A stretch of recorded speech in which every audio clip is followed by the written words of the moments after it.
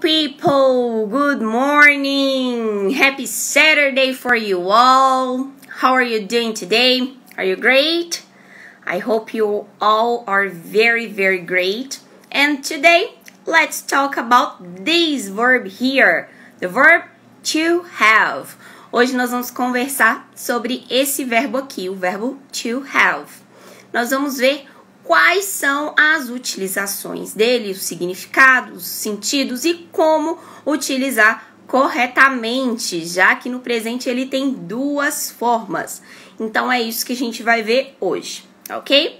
Se você está começando a estudar inglês agora, don't worry, relax. Temos muitas aulas iniciantes lá no canal no YouTube e aqui no IGTV também. Então você pode assistir a nossa aula aqui agora e depois ir para as aulas que, que vão te ajudar a caminhar aí no inglês, ok? Então, bora para nossa aula de hoje. Então, o verbo to have, ele tem três significados básicos, tá? O que que ele pode, para que que ele pode ser usado?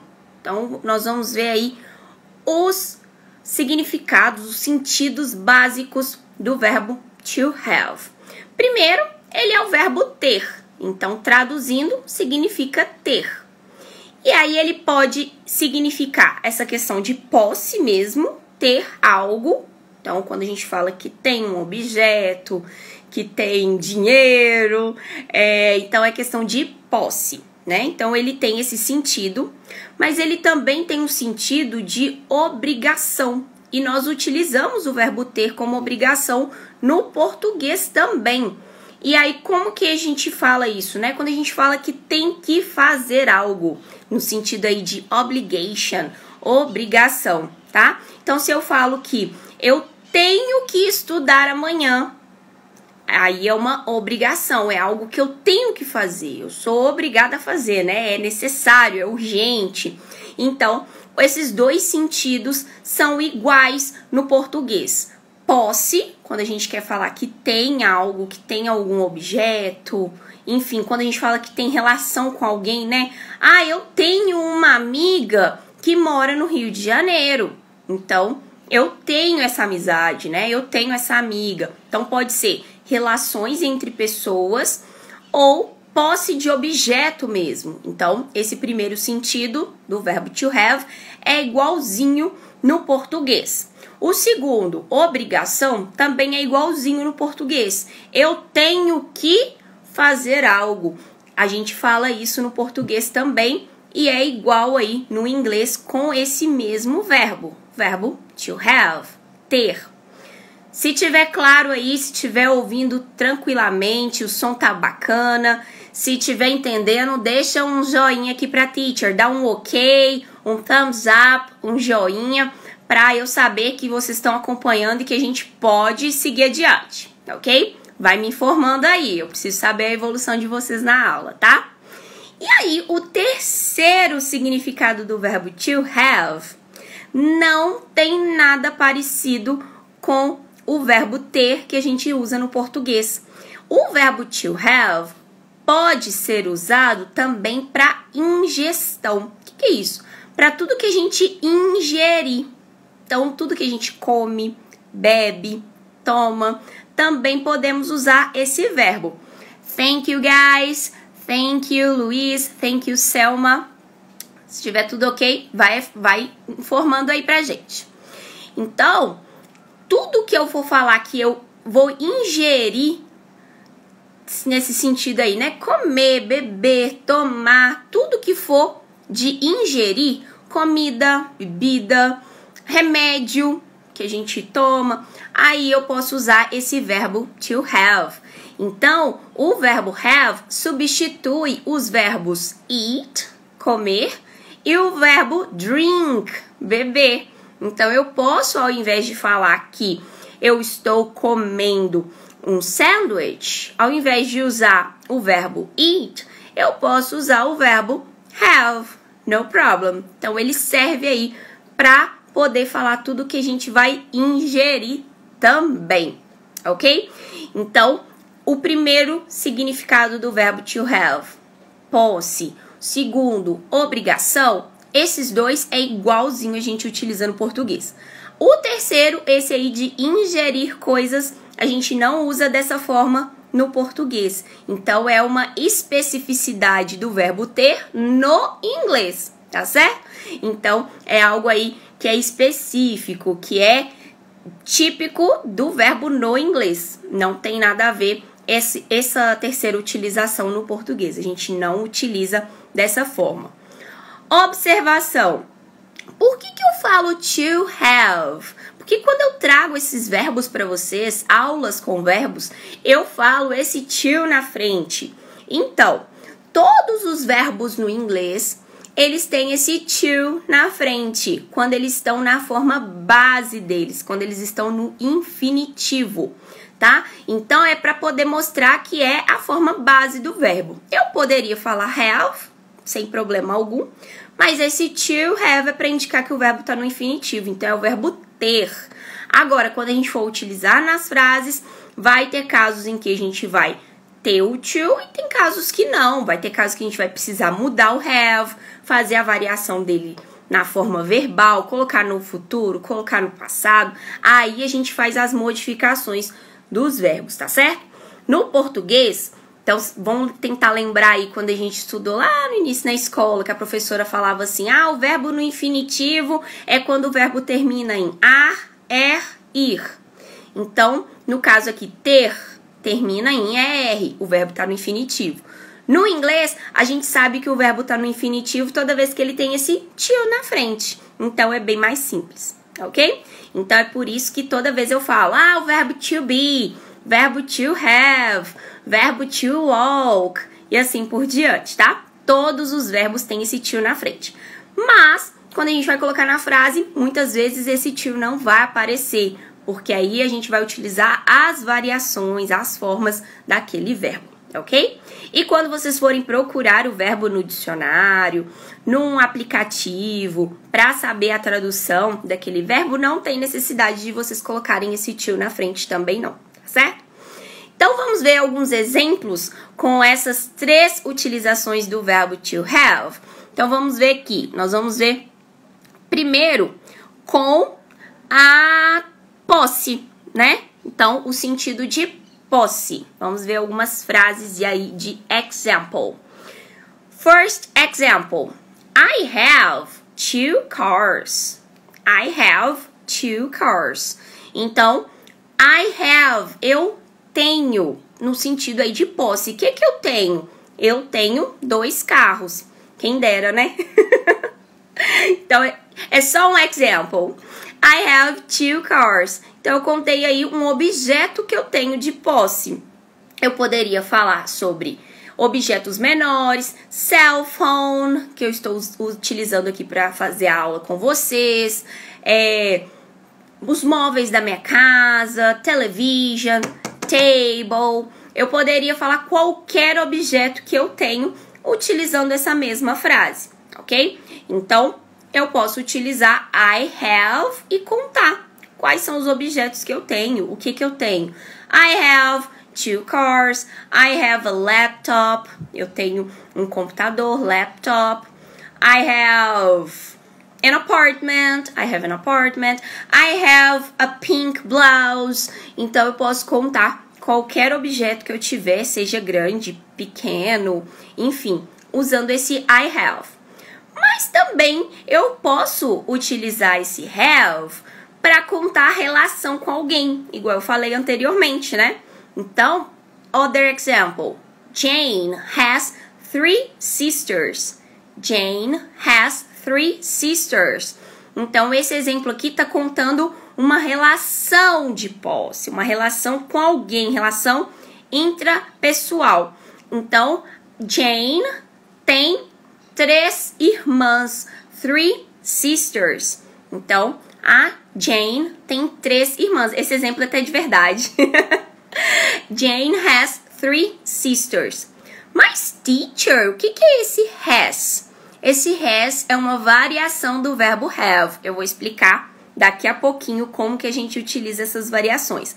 Mas toda vez que eu estiver falando de mim, I, a gente vai usar have. I have two cars.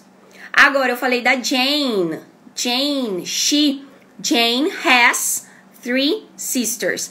Para Jane, nesse caso, a gente usa has, que é a segunda forma do verbo, ok? Mas nós vamos, eu vou explicar calmamente depois que a gente vê todos os examples. Other example. My students have the best teacher. Ai, agora eu fui modesta, hein? My students have the best teacher. Os meus alunos, meus estudantes têm a melhor professora. Ai, ó, tinha que dar uma valorizada. Aproveita e dá uma valorizada aqui para teacher e compartilha essa live aqui para mais pessoas conhecerem esse verbo, aprenderem inglês e melhorar o nível de inglês, o nível de vocabulário, para conseguir comunicar melhor e chegar à fluência no inglês. Então me ajuda aqui, aproveitando esse exemplo aí, né? Alguém tem que me ajudar, uai.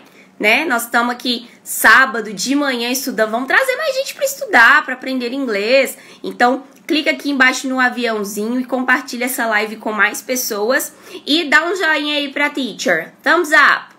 Thumbs up. Dá um joinha aí pra teacher. Se tiver claro, vai avisando aí, ok? Pra gente poder prosseguir para os próximos exemplos. Lembrando que esses três exemplos aqui são no sentido de posse. É o primeiro significado do verbo ter. Então, todos aqui têm sentido de posse. Não importa se é posse com objetos ou com uma relação pessoal, tá? A gente encara isso como posse. Sou eu que tenho um irmão, sou eu que tenho a professora de inglês. Então, a gente encara isso como posse também, ok? Então, ó, my students have the best English teacher. Meus alunos têm a melhor professora de inglês, ó. Sábado de manhã vindo aqui dar aula para vocês. Então, dá um joinha aí pra teacher, ok? Então, todos esses exemplos são com a relação de posse. E aí, o nosso segundo sentido, segundo significado do verbo ter. Qual que era o segundo significado? Obligation, obrigação. Então, quando eu quero falar de obrigação, eu também uso esse verbo have para indicar o que que eu tenho que fazer. Então, agora nós vamos ver alguns examples sobre essa segu esse segundo significado. Mas antes da gente ver os exemplos, me conta aqui, ficou claro o primeiro significado? Conseguiu compreender aí os exemplos? Ficou claro essa questão de relação de posse utilizando o verbo have? Conta aqui para teacher.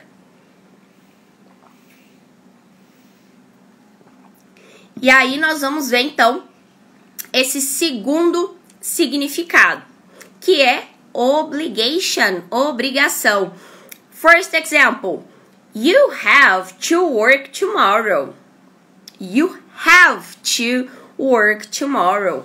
Você tem que trabalhar amanhã. You have to work tomorrow. É uma obrigação, é algo que você tem que fazer. Work tomorrow, trabalhar amanhã. My friend has to go to São Paulo. A minha amiga tem que ir a São Paulo. My friend has to go to São Paulo. Olha o has aparecendo aí de novo. Então, nesse caso, para my friend, nós usamos has. My friend has to go to São Paulo. Ela tem que ir para lá. Então, é uma obrigação. I have to clean the house this morning. I have to clean the house this morning. Eu tenho que limpar a casa essa manhã, hoje de manhã. Então, é uma obrigação, tem que fazer. Qualquer coisa que seja obrigação para você, para alguém, em alguma situação que a pessoa tem que fazer algo que é urgente, não só no sentido de obrigação, porque ah, eu vou fazer de má vontade. Não, é porque é preciso fazer pela necessidade de algo, tem uma certa urgência, uma emergência fazer algo, a gente pode também utilizar esse have para indicar ter que fazer algo. Então, I have to work tomorrow. Eu tenho que trabalhar amanhã. Não quer dizer que eu tô indo de má vontade, mas I have to work tomorrow. I have to study today. Então a gente pode falar I have to study today. Eu tenho que estudar hoje, ó. Tem aula aqui já, então tenho que estudar para aí sim chegar na fluência no inglês, né? É esse o nosso objetivo, não é? Então, temos que estudar. Então, toda vez que a gente tiver que falar que tem que fazer algo, seja nesse sentido de obrigação, com má vontade ou não, uma emergência, uma certa urgência, né, uma prioridade, nós vamos utilizar o have também para poder falar desse, dessa forma, nesse sentido. Ficou claro, pessoal? Dá um joinha aí para teacher, thumbs up, para eu saber que tá ok a gente pode seguir adiante, ok? Vai informando aí para teacher. E o nosso terceiro significado do verbo to have é no sentido de ingerir algo. Então, nós podemos utilizar o verbo have toda vez que a gente for falar de comer, beber, tomar, enfim, tudo que a gente for ingerir nós podemos utilizar o verbo have para substituir. A gente, claro que pode utilizar os verbos, né, de comer e beber, né? Eat, comer, drink, beber, mas o verbo have substitui eles, ok? E também quando a gente quiser falar de fazer uma refeição, que tem a ver com comer, né? Então, se eu quiser falar de fazer uma refeição, também eu vou utilizar esse have. Olha só, the first example. My parents have lunch at noon. O que, que é esse have lunch? Eles fazem a refeição do almoço. Então, eles comem né, o almoço, almoçam at noon, ao meio-dia. Então, my parents, parents, lembrando que é uma palavrinha que nos confunde, significa pais. Mother, father, então parents, pais, ok? Então, my parents, meus pais, have lunch at noon. Eles fazem o almoço, fazem a refeição do almoço at noon, ao meio-dia. Então, contando aí o horário que os my, my parents fariam, fazem a refeição do almoço. Então, eu posso utilizar aí para qualquer refeição o have para indicar. Segundo exemplo, second example. I always have a salad for dinner. I always have a salad for dinner. Então, nesse caso aí, ó, salad, salada, é algo de comer, né? Então, o have aí tá substituindo comer. Eu sempre como uma salada no jantar, para o jantar. Então, I always, eu sempre como uma salada, have a salad for dinner, no jantar. Então, eu posso utilizar aí para o que eu vou comer. Ah, se eu gosto de comer sanduíche no jantar. I have a sandwich for dinner. Eu como sanduíche no jantar. Então, qualquer comida podemos utilizar o have para indicar que a gente come. Se fosse bebida, também.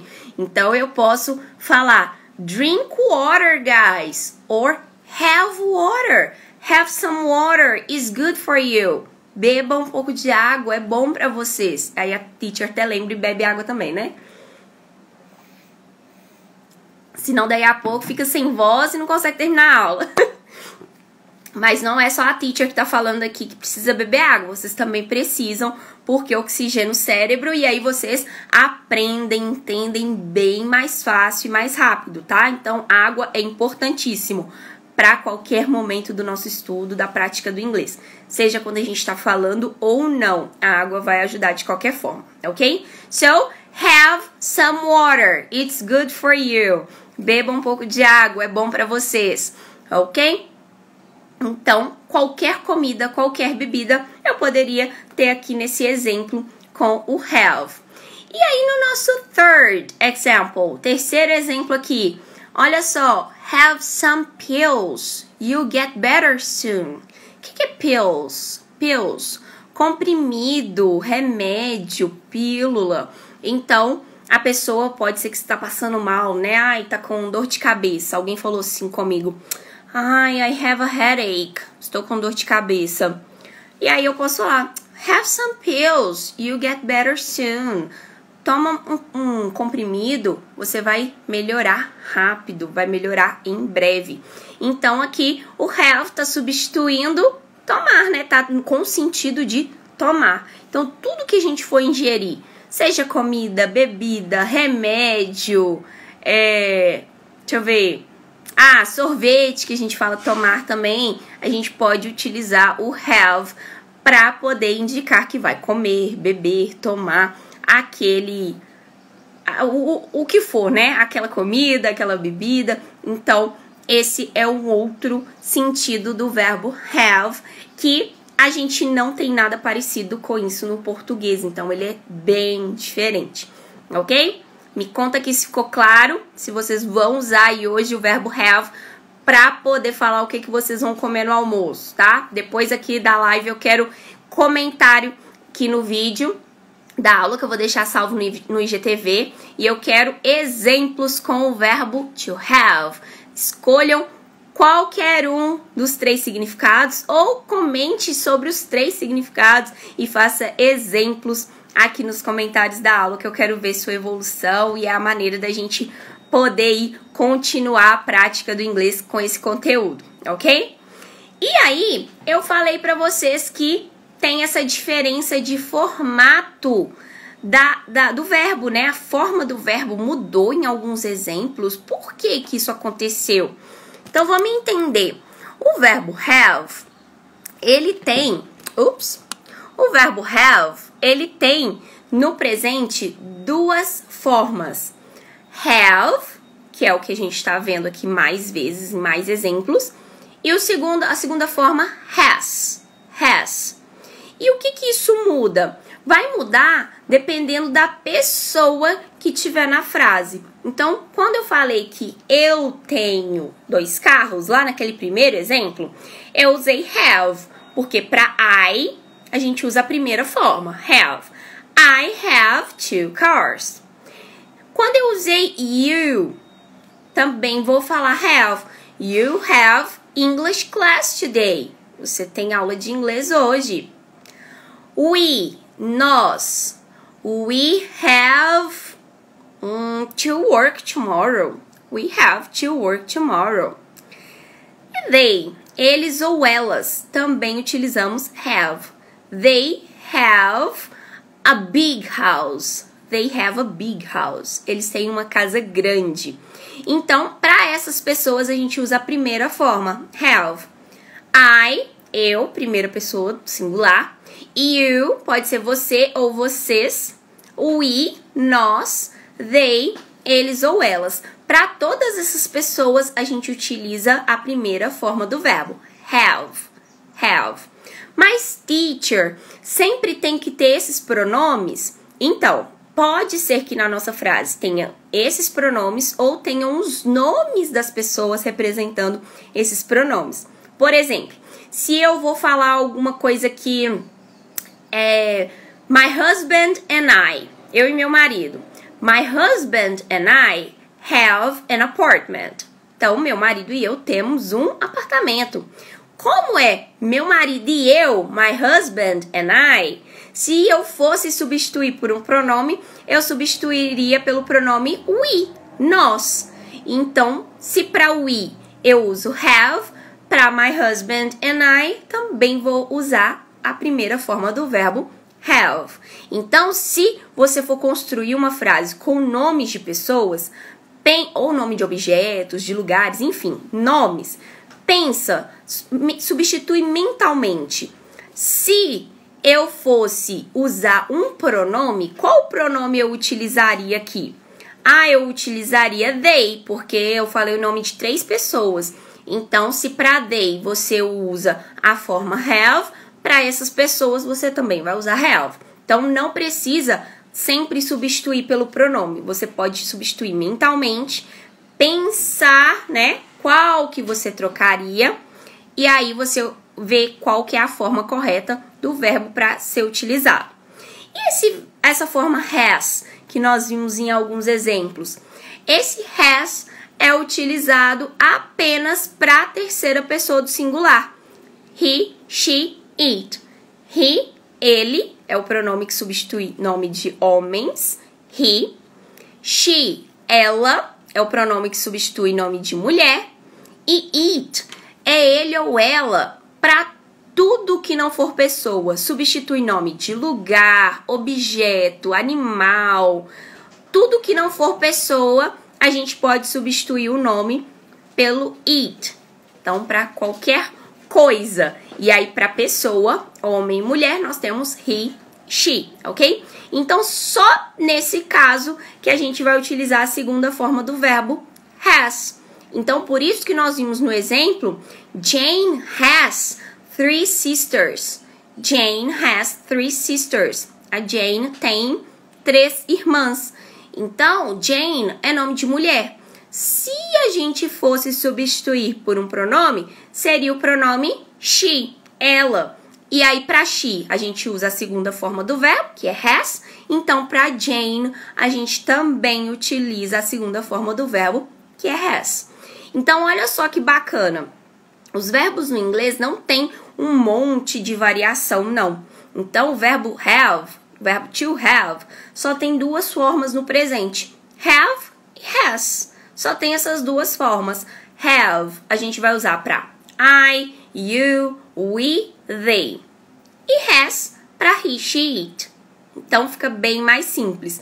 No português, a gente teria eu tenho, tu tens, ele, ela tem, nós temos, vós, nem sei como que é no português.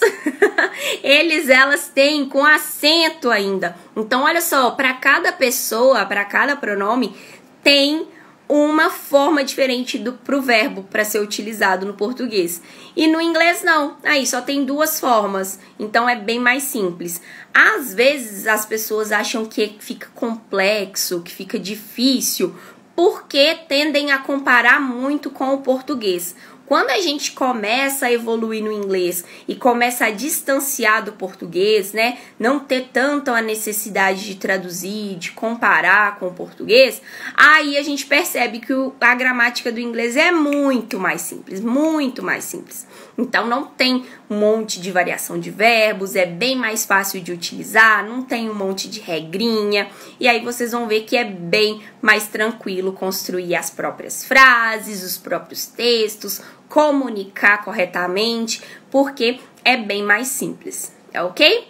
Então, esse é o nosso assunto da aula de hoje, verb to have. Se ficou qualquer dúvida, Deixa aqui nos comentários, faça sua pergunta e faça seu exemplo também. Faça frases usando o verbo to have, que eu quero ver você utilizando esse verbo para construir frases novas e, consequentemente, aumentar o seu vocabulário, ok? Então, espero que tenham gostado da aula. I hope you enjoyed the class. I hope you have a wonderful weekend. Espero que todos vocês tenham um maravilhoso fim de semana e estudem.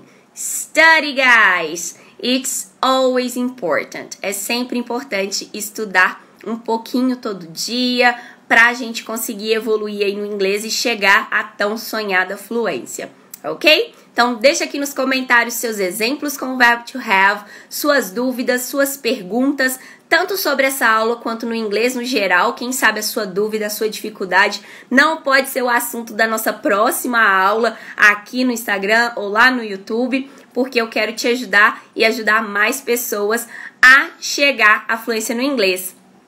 I have to work today. É. I have to work today too. Eu também tenho que trabalhar hoje. Então, estamos juntas. We are together in this. I have to work today too. Excellent. Very good. Muito, muito bem. Então, nos vemos nas próximas aulas durante a semana, ok? Então, tenham um bom fim de semana, estudem bastante, trabalhem bastante também, descansem no momento que for possível e a gente se vê nas nossas próximas aulas, combinado? See you next class. Bye bye, guys. Take care.